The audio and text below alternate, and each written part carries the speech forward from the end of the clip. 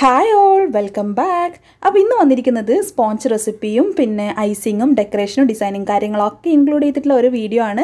അപ്പോൾ നിങ്ങളിൽ കുറേ പേര് ചോദിച്ചിട്ടുള്ള ഒരു റെസിപ്പിയാണ് വാൻ സ്ട്രോ കേക്ക് എങ്ങനെയാണ് തയ്യാറാക്കേണ്ടതെന്ന്. അപ്പോൾ വൺ കെ ജി വരുന്ന വാൻ സ്ട്രോ കേക്കിന്റെ റെസിപ്പി നമുക്ക് വീഡിയോയിലോട്ടേക്ക് പോവാം. അതിന് മുൻപേ നമ്മുടെ ചാനൽ കണ്ടിട്ട് ഇഷ്ടപ്പെട്ടിട്ടെങ്കിൽ ലൈക്ക് ചെയ്യുക കമന്റ് ചെയ്യുക. പിന്നെ നിങ്ങൾക്ക് യൂസ്ഫുൾ ആണെന്ന് തോന്നുകയാണെങ്കിൽ മറ്റുള്ള ഹോം ബേക്കേഴ്സിന് ഒന്ന് ഷെയർ ചെയ്യാനും മടിക്കരുത്.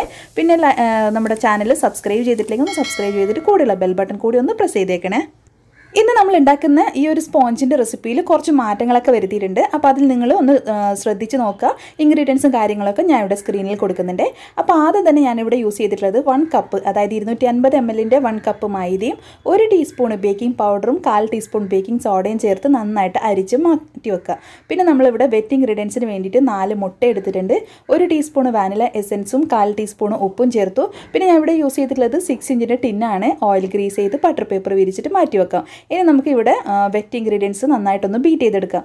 ആദ്യം തന്നെ നന്നായിട്ടൊന്ന് എഗ്ഗ് ബീറ്റ് ചെയ്തെടുക്കുക നമ്മൾ വാനില എസൻസ് ഈ സ്റ്റാർട്ടിങ്ങിൽ തന്നെ ചേർക്കണം. ഒരുപാട് പേർക്ക് എഗ്ഗിന്റെ സ്മെല്ല് ഉണ്ടെന്ന് പറയുന്നുണ്ട്. അപ്പോൾ ഇല്ലാതിരിക്കണം എന്നുണ്ടെങ്കിൽ ഇതുപോലെ ഫസ്റ്റ് തന്നെ ചേർത്ത് നന്നായിട്ട് ബീറ്റ് ചെയ്യുക. അതിലേക്ക് മുക്കാൽ കപ്പ് പൊടിക്കാത്ത പഞ്ചസാര ചേർത്തതിന് ശേഷം നന്നായിട്ട് ബീറ്റ് ചെയ്തെടുക്കുക ആവുന്ന തരം ലോ സ്പീഡിലും പിന്നെ ഹൈ സ്പീഡിൽ ഇതുപോലെ റിബൺ കൺസിസ്റ്റൻസി എന്നുള്ള ലെവലിൽ എത്തിയതിന് ശേഷം അതിലേക്ക് രണ്ട് ടേബിൾ സ്പൂൺ സൺഫ്ലവർ ഓയിൽ ചേർക്കുക നമ്മൾ സ്പോഞ്ചിന്റെ വീഡിയോസൊക്കെ ഓൾറെഡി ഒരുപാട് ഇട്ടിട്ടുണ്ട്. അതുകൊണ്ട് ഇത് ലെങ്തി ആയിട്ട് പറയുന്നില്ല. ഇനി നമ്മളിവിടെ ഡ്രൈ ഇൻഗ്രീഡിയൻസ് ആണ് മിക്സ് ചെയ്യുന്നത്. ഇവിടെ ഒരു ചേഞ്ചസ് എന്ന് പറയുന്നത് നമ്മൾ ഇതിൽ മിൽക്ക് ചേർത്തിട്ടില്ല. അപ്പം മിൽക്ക് ചേർക്കാത്ത ടെക്സ്ചർ എങ്ങനെയാണെന്ന് ഒരുപാട് പേര് ചോദിച്ചിട്ടുണ്ട്. അപ്പം മിൽക്ക് ചേർക്കാത്തതുകൊണ്ട് കുറച്ച് ടൈറ്റ് ആയിരിക്കും. അപ്പം ഞാനിവിടെ പകുതി ഭാഗം ഒരു ടിന്നിലേക്ക് മാറ്റി വാനില സ്പോഞ്ചിന് വേണ്ടിയിട്ട്. ഇനി ബാക്കിയുള്ള ബാറ്ററിലേക്ക് നമ്മളിവിടെ ഒന്നര ടേബിൾ സ്പൂണോളം സ്ട്രോബെറി ആണ് യൂസ് ചെയ്തിട്ടുള്ളത്. സ്ട്രോബെറി ക്രഷ് ചേർത്തിട്ട് നന്നായിട്ടൊന്ന് മിക്സ് ചെയ്ത് കൊടുക്കുക. അപ്പോൾ ഇതിൽ അത്യാവശ്യം കളർ കുറവായിരിക്കും. അപ്പോൾ ഒന്നോ രണ്ടോ ഡ്രോപ്പ് പിങ്ക് കളറാണ് ഞാനിവിടെ യൂസ് ചെയ്തിട്ടുള്ളത്. നിങ്ങളടുത്ത് പിങ്ക് കളർ ഇല്ലാന്നുണ്ടെങ്കിൽ ഒന്ന് ഒന്നോ രണ്ടോ ഡ്രോപ്പ് തന്നെ റെഡ് കളർ മിക്സ് ചെയ്ത് കൊടുക്കുക. ഓവറായിട്ട് റെഡ് ആവരുത്. പ്രത്യേകം ശ്രദ്ധിച്ചേക്കണേ. അപ്പോൾ ഞാനിതിവിടെ ഇതുപോലെ യൂസ് ചെയ്തിട്ടുണ്ട്. ഞാനിവിടെ സ്ട്രോബെറി ക്രഷാണ് യൂസ് ചെയ്തിട്ടുള്ളത്. നിങ്ങൾക്ക് സ്ട്രോബെറീന്റെ മിക്സ് കിട്ടും. എസെൻസ് ടൈപ്പിലുള്ള ആ ഒരു കളറും ആ ഒരു സ്മെല്ലൊക്കെ ഉള്ള ആ ഒരു സ്ട്രോബെറി മിക്സ് കിട്ടും. അതായാലും കുഴപ്പമില്ല. അപ്പോൾ ഇതൊക്കെ ചേർത്ത് നന്നായിട്ട് ഫോൾഡ് ചെയ്തതിന് ശേഷം നേരത്തെ യൂസ് ചെയ്തിട്ടുള്ള സിക്സിന്റെ ടിന്ന് പോലെ തന്നെ സെയിം ഒരേ ലെവലിലുള്ള ടിന്ന് യൂസ് ചെയ്യുക. എന്നിട്ട് ഒന്ന് ബേക്ക് ചെയ്യാൻ വെക്കുക. ഞാൻ ഇവിടെ ഓവനിലാണ് ബേക്ക് ചെയ്യുന്നത്. നൂറ്റി എൺപത് ഡിഗ്രിയിൽ പത്ത് മിനിറ്റ് പ്രീ ഹീറ്റ് ചെയ്യുക എന്നതിന് ശേഷം നൂറ്റി അറുപതിൽ ഒരു ഇരുപത് മിനിറ്റിന്റെ ഉള്ളിൽ തന്നെ നമുക്കിത് കറക്റ്റായിട്ട് ബേക്കായിട്ട് കിട്ടും. ഗ്യാസ് സ്റ്റോപ്പിലാണെങ്കിൽ ലോ ഫ്ലെയിമിൽ ഒന്ന് പ്രീ ഹീറ്റ് ചെയ്യുക ഒരു പത്ത് മിനിറ്റ്. അതിന് ശേഷം ബേക്ക് ചെയ്തെടുക്കേണ്ടതും ഒരു ഇരുപത് ഇരുപത്തഞ്ച് മിനിറ്റ് ബേക്ക് ചെയ്തെടുക്കുക. അപ്പോൾ രണ്ട് ടിന്നിൽ രണ്ട് ബർണറിലായിട്ട് ബേക്ക് ചെയ്തെടുക്കേണ്ടി വരും. അപ്പോൾ ഇതിലേക്ക് യൂസ് ചെയ്യുന്ന ക്രീം എന്ന് പറയുന്നത് ഒന്നേകാൽ കപ്പ് ക്രീം നന്നായിട്ട് ബീറ്റ് ചെയ്തെടുക്കുക. അതിന്റെ വീഡിയോസൊക്കെ ഓൾറെഡി ആണ്. അതുകൊണ്ട് അതിൽ ഡീറ്റെയിൽ പറയുന്നില്ലേ. അപ്പോൾ ഒരു ഇരുപത് ഇരുപത്തഞ്ച് മിനിറ്റിന്റെ ഉള്ളിൽ തന്നെ നല്ല ബേക്കായിട്ട് കിട്ടും. നല്ല സോഫ്റ്റ് ആയിട്ടുള്ള ആ ഒരു സ്പോഞ്ചാണ് അപ്പോൾ സ്പെഷ്യലായിട്ട് നമ്മൾ സബ്സ്ക്രൈബേഴ്സ് ഹായ് പറയാൻ പറഞ്ഞിട്ടുണ്ട്. നമ്മുടെ സെൽവയും അക്ഷരയാണ്. അപ്പോൾ ഒരു ബിഗ് ഹായ് പറഞ്ഞിട്ടുണ്ട്. അപ്പോൾ നമ്മുടെ സോഫ്റ്റ് ആയിട്ടുള്ള സ്പോഞ്ച് നമ്മളിത് ഇവിടെ ചൂടാറിയതിന് ശേഷം ടിന്നിൽ നിന്ന് മാറ്റി വെക്കുക നല്ല സോഫ്റ്റ് ടെക്സ്ചറാണ് നിങ്ങൾക്ക് കണ്ടാൽ തന്നെ മനസ്സിലാവും. അത്യാവശ്യം നല്ല ഹൈറ്റിൽ ത്രീ ലെയറായിട്ട് കട്ട് ചെയ്യുന്ന രീതിയിൽ തന്നെ നല്ല സോഫ്റ്റ് ആയിട്ട് കിട്ടിയിട്ടുണ്ട്. അപ്പോൾ ചൂടാറിയതിന് ശേഷം മാത്രമേ കട്ട് ചെയ്യാവൂ. ഇല്ലാന്നുണ്ടെങ്കിൽ ക്രംസ് ഒരുപാട് കേക്കിൽ നിന്ന് പോകാനും കേക്ക് കറക്റ്റ് ലെവലിൽ കട്ട് ചെയ്യാനും പറ്റില്ല. അപ്പോൾ ഒരുപാട് പേര് സംശയം ചോദിക്കുന്നുണ്ടാണ് പിന്നെ നമ്മളിവിടെ കുറച്ച് ക്രീമിലേക്ക് നേരത്തെ യൂസ് ചെയ്തിട്ടുള്ള അതേ നമ്മൾ സ്ട്രോബെറി ക്രഷും പിന്നെ ഒന്നോ രണ്ടോ ഡ്രോപ്പ് ഒരു കളറിന് വേണ്ടിയിട്ട് റെഡ് കളർ അല്ലെങ്കിൽ പിങ്ക് കളർ ഇതൊന്ന് മിക്സ് ചെയ്ത് മാറ്റി വെക്കുക അപ്പോൾ നമ്മൾ സ്ട്രോബെറി കേക്കിന്റെ മുകളിലുള്ള ആ ഒരു ഫില്ലിങ്സിന് വേണ്ടിയിട്ടാണ്. അപ്പോൾ വാനില സ്പോഞ്ചിന്റെ മുകളിലായിട്ട് ഫില്ലിംഗ് ആയിട്ട് കൊടുക്കുന്നത് നോർമൽ വൈറ്റ് ക്രീമാണ് അപ്പോൾ അതിൽ വേണമെന്നുണ്ടെങ്കിൽ വൈറ്റ് ചോക്ലേറ്റ് ഗനാശ് ചേർക്കാം. അപ്പോൾ ഞാനിതിവിടെ സ്ട്രോബെറി കേക്ക് ആദ്യം തന്നെ വെച്ചു. ഒന്ന് ഷുഗർ സിറപ്പ് വെച്ച് വെറ്റി ചെയ്തു. നേരത്തെ നമ്മൾ ക്രഷ് യൂസ് ചെയ്ത് മിക്സ് ചെയ്ത് വെച്ചിട്ടുള്ള ആ ക്രീമാണ് സ്പ്രെഡ് ചെയ്തെടുക്കുന്നത്. അപ്പോൾ നമ്മൾ കേക്ക് നന്നായിട്ട് എയർ ബബിൾസ് കളഞ്ഞ് ടാപ്പ് ചെയ്തിട്ടില്ലെങ്കിൽ കേക്കിൽ നന്നായിട്ട് സ്പോഞ്ചിൽ ഹെയർ റോൾസ് ഒക്കെ ഉണ്ടാവും. അത് പ്രത്യേകം ശ്രദ്ധിച്ചേക്കണേ.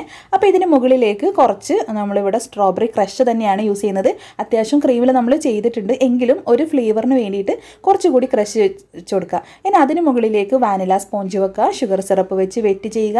നമ്മൾ നേരത്തെ മിക്സ് ചെയ്ത് വെച്ചിട്ടുള്ള ആ ഒരു വൈറ്റ് ക്രീം ഫില്ല് ചെയ്ത് കൊടുക്കുക. ഇതിന് മുകളിലായിട്ട് വൈറ്റ് ചോക്ലേറ്റ് ഗനാഷാണ് ചേർക്കുന്നത്. അപ്പോൾ ഗനാഷ് ചേർക്കുന്നത് അതിന്റെ ഒരു റേഷ്യോ എന്ന് പറയുന്നത് ഒരു കപ്പ് ചോക്ലേറ്റ് ആണെങ്കിൽ അര കപ്പ് വിപ്പിംഗ് ക്രീം വെച്ചിട്ട് ഒന്ന് ഡബിൾ ബോയിൽ എടുത്തതാണ്. ഈ ഒരു അളവ് കറക്റ്റായിട്ട് എടുക്കുക. ഇത്രയും അളവ് എടുക്കണം എന്നല്ല ഒരു കാൽ കപ്പ് വീതം എടുത്താൽ മതി. കാൽ കപ്പ് ചോക്ലേറ്റ് ആണെങ്കിൽ ഒരു രണ്ട് tablespoon whipping cream mix ചെയ്താൽ മതി നമ്മൾ ഉള്ളിലെ ഫില്ലിങ്സിന് മാത്രമല്ലേ എടുക്കുന്നുള്ളൂ. അപ്പോൾ അത്ര മാത്രം മതിയേ. അപ്പം നമ്മൾ അടുത്തതായിട്ട് ചേർക്കുന്നത് സ്ട്രോബെറി സ്പോഞ്ച് പിന്നെ ഷുഗർ സിറപ്പ് വെച്ച് വെറ്റ് ചെയ്യുക സ്ട്രോബെറി ക്രീം സ്പ്രെഡ് ചെയ്യുക പിന്നെ വാനില സ്പോഞ്ച് ഷുഗർ സിറപ്പ് വെച്ച് വെറ്റ് ചെയ്യുക ക്രീം സ്പ്രെഡ് ചെയ്യുക ചോക്ലേറ്റ് ഗനാഷ് സ്പ്രെഡ് ചെയ്യുക എന്നിട്ട് ഏകദേശം ഒന്ന് സൈഡൊക്കെ ഒന്ന് ലെവൽ ചെയ്തെടുക്കുക. കാരണം നമ്മൾ ഓരോ ലെയർ വെക്കുന്നതനുസരിച്ച് അത് അങ്ങോട്ടും ഇങ്ങോട്ടൊക്കെ ചെരിഞ്ഞ് കഴിഞ്ഞാൽ നമ്മൾക്ക് ഐസിങ് ചെയ്യുന്ന സമയത്ത് നീറ്റ് ചെയ്ത് ചെയ്യാൻ പറ്റില്ല. അപ്പോൾ നിങ്ങൾ പ്രത്യേകം ശ്രദ്ധിക്കുക ഓരോന്നും ചെയ്യുന്ന സമയത്ത് കറക്റ്റ് ലെവലാണോ അല്ലയോ എന്ന് പ്രത്യേകം ശ്രദ്ധിച്ചേക്കണേ. കാരണം ഇത് നമ്മൾ സിക്സ് ഇഞ്ചിന്റെ ടിന്നിൽ രണ്ട് ടിന്നായിട്ടാണ്. അപ്പോൾ ടോൾ കേക്കായിട്ടാണ് വരിക. അപ്പം പിന്നെ കറക്റ്റായിട്ട് ശ്രദ്ധിക്കേണ്ടത് ടോൾ കേക്കിന് പലർക്കും പ്രോബ്ലംസ് വരുന്നത് ഈ ഒരു വെക്കുന്ന സമയത്ത്. അത് കറക്റ്റ് ലെവലല്ല എന്നുണ്ടെങ്കിൽ നമ്മൾ ഇത് ഐസിങ് ചെയ്തെടുക്കുന്ന സമയത്ത് ഒന്നിക്ക് ചെരിഞ്ഞു പോകും. അല്ലെങ്കിൽ ട്രാവൽ ചെയ്യുന്ന സമയത്ത് മൊത്തത്തിൽ കുലുങ്ങിയിട്ട് നമ്മളത് ഷേക്കായിട്ട് അത് താഴേക്ക് വീഴാൻ ചാൻസ് ഉണ്ട്. അപ്പോൾ ട്രാവൽ ചെയ്യുന്ന കേക്കാണെങ്കിൽ ഒരു സ്റ്റിക്കോ അങ്ങനെ എന്തെങ്കിലും നടുക്ക് സേഫായിട്ട് കുത്തി വെച്ച് കൊടുക്കാൻ മറക്കരുതേ. അങ്ങനെ മൂന്ന് സ്ട്രോബെറി സ്പോഞ്ചും മൂന്ന് വാനില സ്പോഞ്ചും എല്ലാം ഫില്ല് ചെയ്ത് കൊടുത്തു. ലാസ്റ്റ് വാനില സ്പോഞ്ചാണ് വരിക. അപ്പോൾ അതൊക്കെ ചെയ്തതിന് ശേഷം ഷുഗർ സിറപ്പ് വെച്ച് വെറ്റ് ചെയ്യുക. ഒന്ന് ഈ ലാസ്റ്റത്തെ ക്രീം വെച്ചിട്ട് ഒന്ന് ക്രം കോട്ട് ചെയ്തെടുക്കുക. എന്നിട്ട് ഒരു പത്ത് പതിനഞ്ച് മിനിറ്റ് ഫ്രിഡ്ജിൽ വെച്ച് സെറ്റ് ആക്കിയതിന് ശേഷം വൈറ്റ് ക്രീം പ്ലെയിൻ ആയിട്ടുള്ള വൈറ്റ് ക്രീം ഇതുപോലെ സെന്ററിൽ ഒന്ന് പൈപ്പിംഗ് ബാഗിലാക്കിയിട്ട് കൊടുക്കുക. എന്നതിന് ശേഷം ഈ ഒരു രീതിയിൽ സ്ക്രീപ്പർ വെച്ചിട്ട് ഒന്ന് ലെവൽ ചെയ്തെടുക്കുക. ഫുള്ളായിട്ട് ചെയ്യണമെന്നില്ല. നമുക്ക് ആ സെന്ററിലാണ് കുറച്ച് ഹൈറ്റായിട്ട് വരേണ്ടത്. അപ്പോൾ ആ ഒരു രീതിയിൽ ചെയ്തിട്ട് അപ്പോൾ ഇത് നമ്മൾ ചെയ്യുന്ന രീതി എന്ന് പറയുന്നത് ഡബിൾ കളറായിട്ട് അത് നമ്മൾ വാൻസ്ട്രോ ഡബിൾ ഷെയ്ഡ് അല്ലേ? അപ്പോൾ അതിന് വേണ്ടിയിട്ടാണ് ഈ ഒരു ലെവലിൽ ഞാൻ ചെയ്തു കൊടുത്തിട്ടുള്ളത്. അപ്പോൾ സിമ്പിളായിട്ടുള്ള ഡെക്കറേഷനാണ് ഒന്ന് ശ്രദ്ധിച്ചു കഴിഞ്ഞാൽ നല്ല എലിഗന്റ് ലുക്ക് വരുന്ന ഒരു ഡെക്കറേഷനാണ് അപ്പോൾ ഞാനിതിവിടെ യൂസ് ചെയ്തിട്ടുള്ള ക്രീമിലേക്കുള്ള കളർ എന്ന് പറയുന്നത് ഒരു ഡ്രോപ്പ് യെല്ലോ കളറും ഒരു ഡ്രോപ്പ് റെഡ് കളറും കൂടി മിക്സ് ചെയ്താലാണ് ഇങ്ങനെ ഒരു കളർ കിട്ടുന്നത്. അപ്പോൾ കളർ മിക്സിങ്ങിനെ കുറിച്ചുള്ള ഡീറ്റെയിൽ വീഡിയോ ഒക്കെ നമ്മൾ ഓൾറെഡി പോസ്റ്റ് ചെയ്തിട്ടുണ്ട്. അപ്പം ഡിഫറെന്റ് ആയിട്ടുള്ള കളർ മിക്സിങ്ങും അതിന്റെ കാര്യങ്ങളൊക്കെ ഞാൻ വീഡിയോസ് ഇട്ടിട്ടുണ്ട്. കണ്ടിട്ടില്ലാത്തവരൊന്ന് കണ്ടു നോക്കണേ.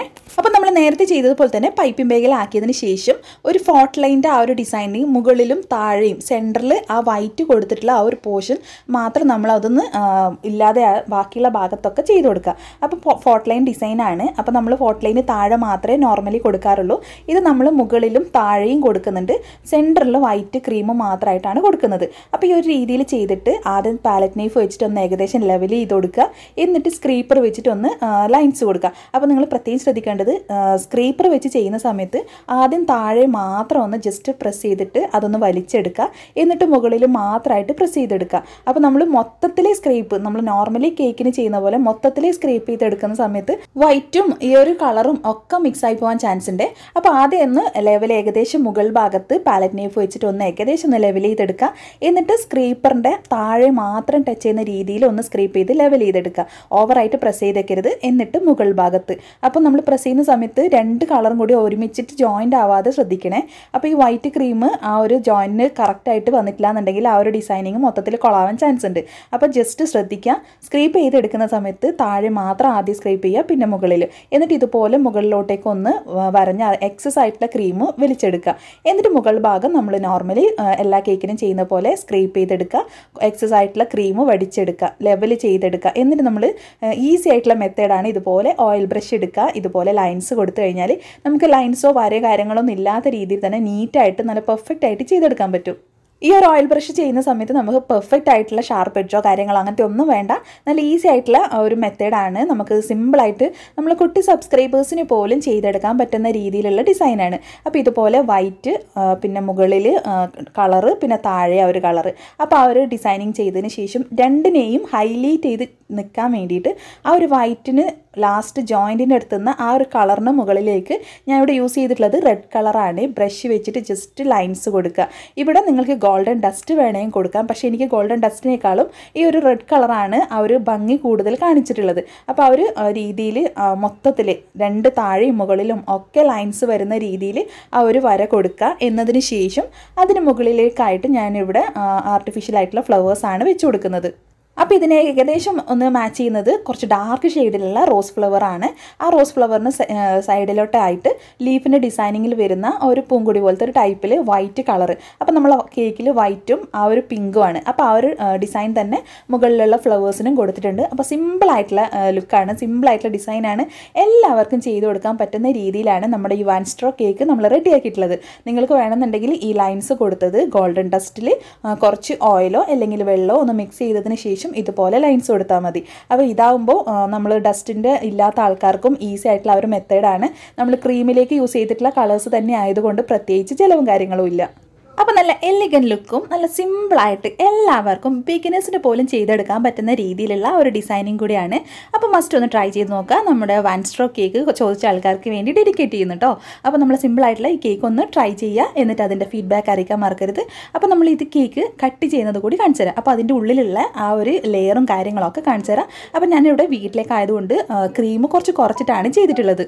അപ്പോൾ നിങ്ങൾ സ്റ്റീലാണെങ്കിൽ ക്രീമൊക്കെ കറക്റ്റ് ലെവൽ ചെയ്ത് ക്ലിയർ ചെയ്ത് കൊടുക്കുക. അപ്പോൾ അങ്ങനെയാണെങ്കിൽ മാത്രമേ ലെയർ നല്ല സെപ്പറേറ്റ് ആയിട്ട് നമുക്ക് കാണാൻ പറ്റുള്ളൂ. അപ്പോൾ ഞാനിവിടെ ക്രീം കുറച്ചതുകൊണ്ട് ആ ഒരു ലെയറിൽ ക്രീമിന്റെ ആ ഒരു തിക്നെസ് കുറവായിരിക്കും. അപ്പോൾ നമ്മുടെ വീട്ടിൽ ആവശ്യമായതുകൊണ്ടാണ് ഇങ്ങനെ ചെയ്തിട്ടുള്ളത്.